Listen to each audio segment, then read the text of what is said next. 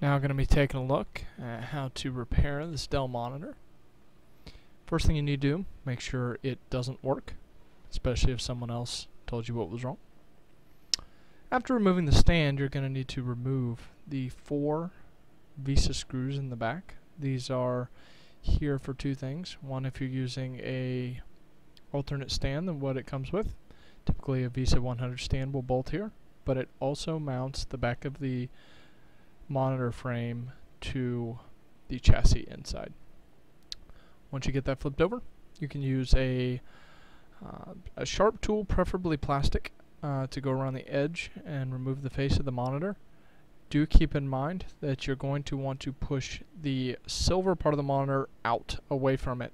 Um, the clips on the face just go straight down into it, and so if you kind of push out on a little bit as you go around, it'll help get it out. These faceplates are put on pretty tight, so you may need um, something a little bit better than what I had. I have a worn down uh, piece from a cell phone. Do watch out for the control panel. Uh, it's only put on with a little piece of electrical tape. Um, that one came off easier than they normally do. Once you have all this out, this back plate will actually just pop right off. So if you just grab it and gently pull it, uh, the main thing you need to watch out for is the button that releases the stand right here. It's three pieces a black cap, a metal piece, and a spring. You need all of them.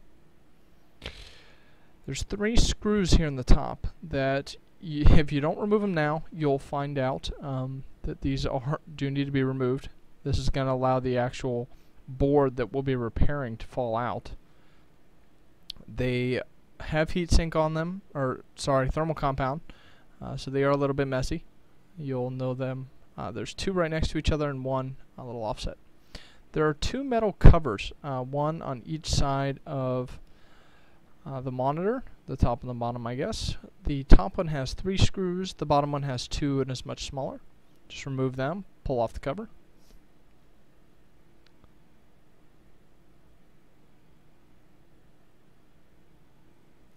The wires that are protected by these can be difficult to remove in one piece. The plastic is pretty cheap, um, so do be careful. Here's where the five screws are, and the three I mentioned. Okay, um, my video cut off a little bit. There's a white ribbon cable on top here. It just simply pulls out. There's nothing holding it in. Uh, the ribbon cable on the bottom of the monitor, you need to be particularly careful once you have these four screws out. Uh, there are four screws on the side of the monitor that are holding the chassis for the boards and the circuitry onto the LCD. Once you have these four screws out, there's a very large ribbon cable that has no clips. It's simply put in um, and it's held in by just pressure and it's got a glue or a, a little bracket that's glued onto a metal piece behind it uh, we will just be twisting it off and breaking it loose. But do keep in mind when you pull this thing up that that ribbon cable's there. Slide it back a little bit, and then with a couple of flathead screwdrivers, you can do it with your fingers, um, but with a couple flathead screwdrivers, you just gently push that thing off.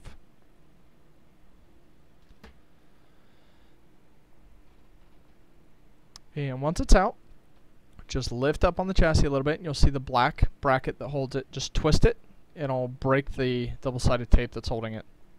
And then you can just spin this thing around. Keep in mind you do still have a ribbon cable attached on the far corner on this video. Here I just grab a pair of, uh, it's actually wire strippers, but they have a nice plier end on them. And the clips that hold these wires in, there's a, a clip that normally you just push down on your thumb, pull it out, but the plastic's real cheap and soft, and it can be tricky getting them out without breaking them. Uh, so I like to grab the whole thing at once with a pair of pliers. But if you have some time, uh, you can fiddle with those and get them out whatever best you can. Then just pick it up and twist it. And this will keep the ribbon cable that's on the back side um, attached so we won't have to remove it. From here, you can remove all but one screw although if this is the first time you've done this, I sort of recommend removing all of them. However, this is my fifth monitor that I've repaired, so I've decided to take a couple of shortcuts at this point. The board closest to you on the video is the one we will be repairing. Uh, so all the screws have to come out on it. All the screws are identical except for one, and I will point that out when we are putting it back together. Or if you're observant, you'll notice it's the only one that the washer has teeth on it. On the board in the rear, I remove all the screws except for the one in the far back. And the only reason you don't I don't take it all the way out is because these two cards are attached only by one cable. Right now I'm removing the screws that hold the power plug itself in. It's secured so that when you add and remove the power cord, it doesn't get moved around as much. Then this card just picks right up. There is a bunch of thermal compound on here, so there's a good chance you'll make a big mess. But you can see where I'm taking a very small screwdriver and just pushing out a it's a rainbow cable there are all kinds of fun colors on it you can just work it right out of its plug and then it will slide through where one of the screw posts are and you can just pull the card that we'll be working on free the reason I wouldn't necessarily recommend this um, if it's your first time is because plugging this thing back in can be a little tricky uh, taking it out is not too much of a problem if you do decide to take it out you will need to remove the final screw and you will also need to um, remove the post that the VGA and DVI cable uh, screw into after you plug it in. Uh, you just turn them uh, with a pair of pliers usually okay. Here I want to get the board a little closer and show you uh, what we're looking at. I do believe the numbers on the circuit board are C uh, 24 and 25, 824, 825. But if you take a look at these resistors on top, you'll notice that they are uh, busted. They, they have exploded on top and they're leaking a light brown uh, gel type stuff. You can use your solder gun to remove these, heat them up and pull them out. Um, I've noticed these things aren't in such a bad place that I can't just break them off. Um, there's enough room. Do, there is a small resistor on the edge of the board you want to watch out for, but everything else is pretty much either fastened down real tight or out of the way enough to where it's not really a problem to work around. Once you do have them off, uh, regardless of how you get them, make sure you clean out the holes real well with the solder gun, remove any excess wiring or solder that's in the way. Here I'll take the solder gun and I'm just going to clear away some of the debris so that we have a uh, little bit better area to work with. The capacitors um, I ordered are from DigiKey. The price of the actual capacitors for 10 was around $4.95, but then it was about $10 shipping. Um, they're by, I think, Nichicon. Uh, they are 1000 UF 10 volt capacitors. I have seen where people online have replaced them with larger ones.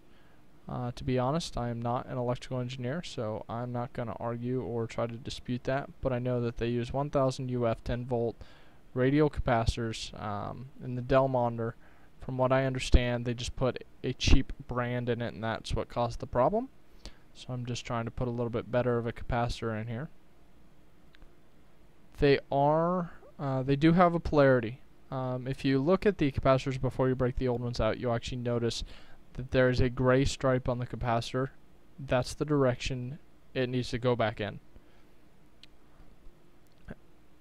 If you also look at the front of the card, you'll notice one half of the circle is brown, the other is, well, yellow. Just make sure the brown side gets that gray stripe, and you should be alright. Push it in, bend the legs uh, just a little bit each way so it holds the capacitor in on its own. This is not exactly rocket science, but you don't want it to be messy at the same time. So just bend them over. Don't bend them all the way down towards the board because you do have to cut these off when you're done.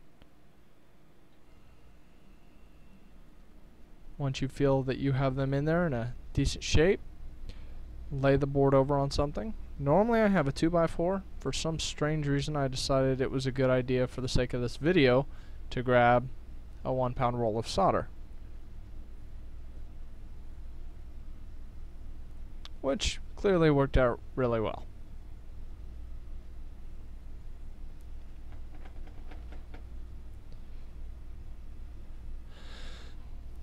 If you have not soldered anything before or have not soldered very much, something to keep in mind is that the solder will go towards the heat.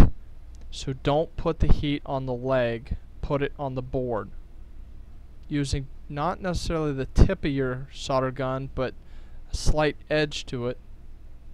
Uh, I'm leaving it on side. Put it on the um, contact surface of the board right next to the leg. That way it warms up the circuit card and the leg itself. And once it's got up to temperature, all you'll have to do is put a little dab of solder on it and it will melt and stick right to it. I am using silver solder and the there is flux in it, so that's why it's smoking. Flux just helps it to stick a little bit better.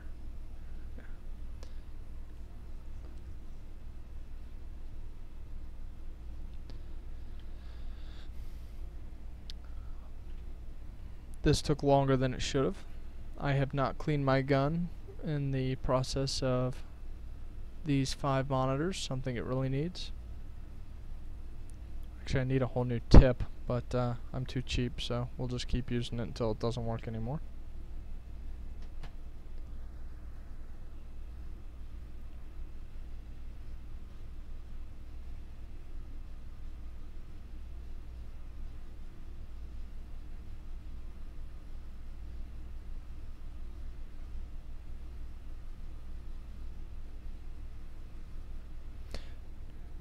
Try to be uh, careful when you've got the, the heat on the board. There are components that are sensitive to heat, so you just want to heat the area you're after. Once you have them all soldered, grab a pair of wire clippers and just snip off the extra legs. Um, on a typical uh, soldering job, you do want to be um, conservative with the amount of solder you put on because some of these boards do come very close to the chassis when you screw them in. However, if you'll notice the way this board goes in, there is plenty of room. So if you put accidentally put a generous bead of solder on the back, uh, as long as it's not touching any other contacts on the board, you should be alright. There's plenty of space in there. Putting it back together uh, is just as easy as taking it apart. This monitor really isn't that complicated. Uh, this ribbon cable is really the worst part if you choose to leave this board in. And thankfully, while filming this video, I ended up having a very difficult time. In fact, I think this video may have been the worst uh, case uh, monitor repair that I've done with this particular model anyway. I couldn't get the faceplate off. I couldn't get screws out. Had the wrong screwdriver. It was just, uh, it was really tedious trying to film this video. Some of it is cut out. Uh, most of it, however, I actually left in so that if you're watching this or doing this for the first time, you can get an idea of some of the frustrations you may have. It is not as smooth as you might think it would be. Once you have that ribbon cable connected, uh, just push it down uh, those metal tabs on the sides aren't going to hurt it. Just shove it down into the port. Don't break anything. It's going to lay on the post. Now here's where you're going to want to find, uh, get your screws with the washers out, but pay attention to the one that has teeth on the washer. It will only go in to one spot. And that is right here where the two boards come together. This post has a larger hole. This one. This is the one where the teeth goes. The other ones don't matter. Um, you may find yourself frustrated if you don't pay attention to that because it will not go into any of the other posts and the other screws will just go straight into that post. They will not, uh, their threads don't even meet. So be sure that you've got that connected appropriately. Get the rest of these screws in. As I make more videos, perhaps I'll get better at editing and I will not have as much boring time in the narration. But at the same time, I, I don't want to cut out parts that may be helpful for you to see, especially over time or if you're doing it while following this video.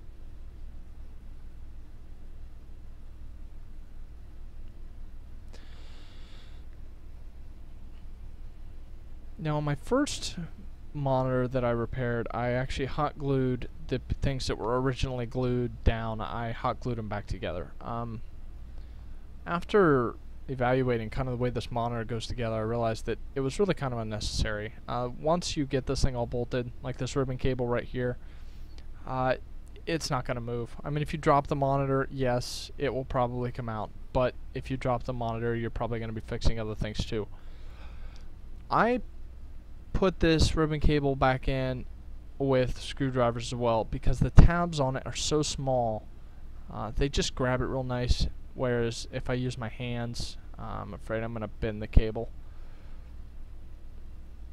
Don't smash your pink and blue wires with the chassis. Make sure they're out of the way.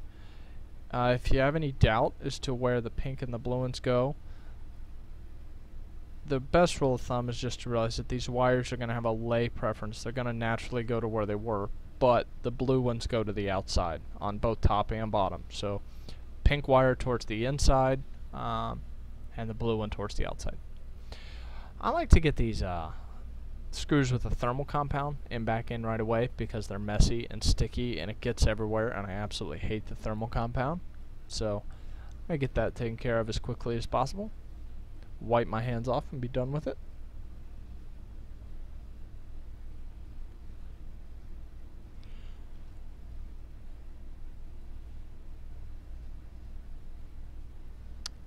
Get the two pieces of the main pieces of the monitor put back together, screwed in. By the way, if you do put those three screws with the heatsink in, um, those three screws and the screws that go along the edges, the four screws that hold the two pieces together, those are all the same. Um, you're not going to hurt anything by obviously putting the ones with the thermal compound and the ones on the edge in different spots, but I prefer just to put things back uh, where they were.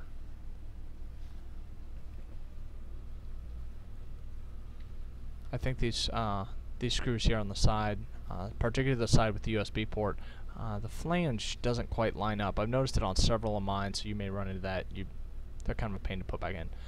Put that ribbon cable uh, that I just put back in with my left hand. It's uh, got a real stiff um, plastic piece attached to it, so it should just slide right back in.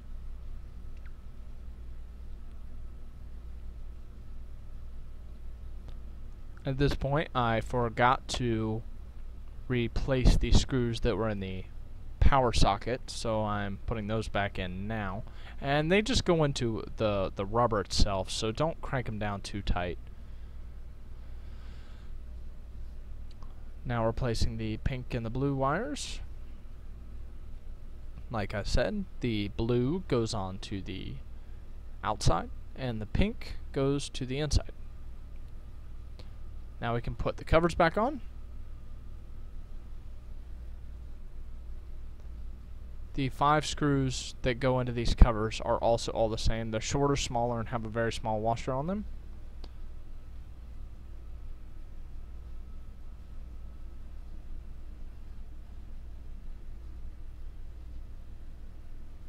And they don't matter where they go. With the smaller plate, it does slightly touch the white ribbon as it runs around. Uh, I typically tuck it under a little bit. Um, there's some adhesive that holds that ribbon cable to the monitor. I just kind of tuck it into that corner. It's right where it turns. Make sure you're not pinching uh, your wires. There is a area that um, flanges up a little bit for those wires to go through.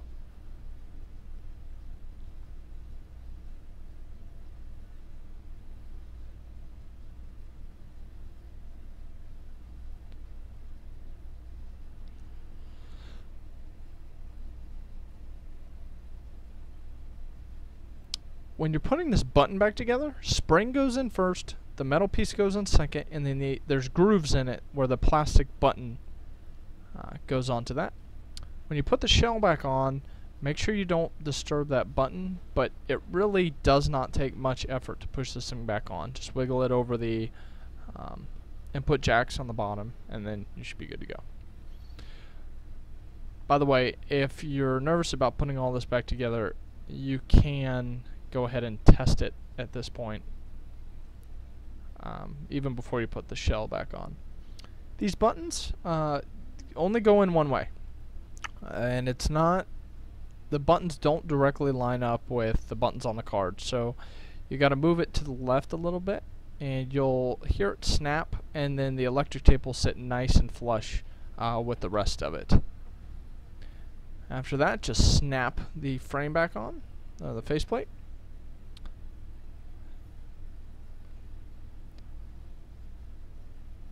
Put these VESA 100 screws back in and we should be done. Uh, the only thing you'll want to do is power it on, make sure it comes on. Uh, when you do plug in these Dell monitors, uh, they turn on by themselves. Uh, once you plug in the power, they'll say Dell, Genesis, or whatever, and then you'll get the uh, no input message. So just because it turns on by itself does not mean you did something wrong. That's just how they work. Um, thing you would want to test is just hit the power button, make sure it turns off, hit the power button, make sure it turns back on, and uh, you have just repaired your monitor for a little bit of time.